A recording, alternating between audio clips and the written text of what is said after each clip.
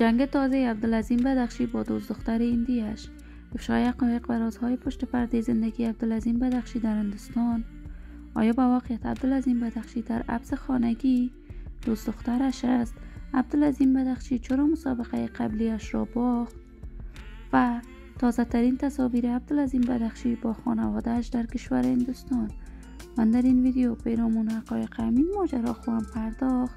پس در ادامه با کانال دنیا اینفو باشید.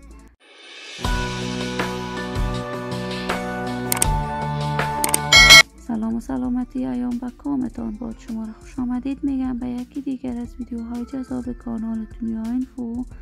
برای دوست شدن با این کانال علامت subscribe را فشار دهید تا از ویدیوهای دیگر کانال دنیا اینفو هم آگاه شوید. عبدالعظیم بدخشی ورزشکار مبارزات آزاد کشور یکی از چهره مشهور محبوب و سرشناس در میان جوانان کشور بوده است.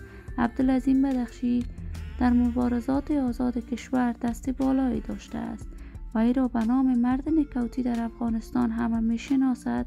عبدالعظیم بدخشی از ولایت زیبای بدخشان ولی بزرگ شده کابل زیبا می باشد بدخشی تمرینات ورزشیش را نزد استادان مشهور در کابل به اتمام رسانید و اکنون در کشور هندوستان زندگی می کند. در سال 2018 در هندوستان مورد حمایت و تشویق فراوان خانواده جیگی شرف یکی از بازیگران مشهور و محبوب هندوستان قرار گرفت. عبدالعظیم بدخشی برنامه های مختلف ورزشی در هندوستان داشته است ولی وی مدت یک سال در ابس در هندوستان بود.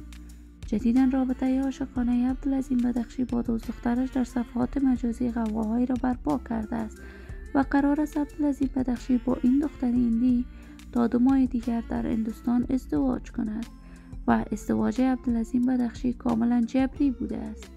عبدالعظیم بدخشی با خانوادهش در هندوستان زندگی می کند وی علاقمندان و طرفدارانش در سرتاسر سر جهان بوده است. من آرزوی موفقیت سعادت و کامیابی.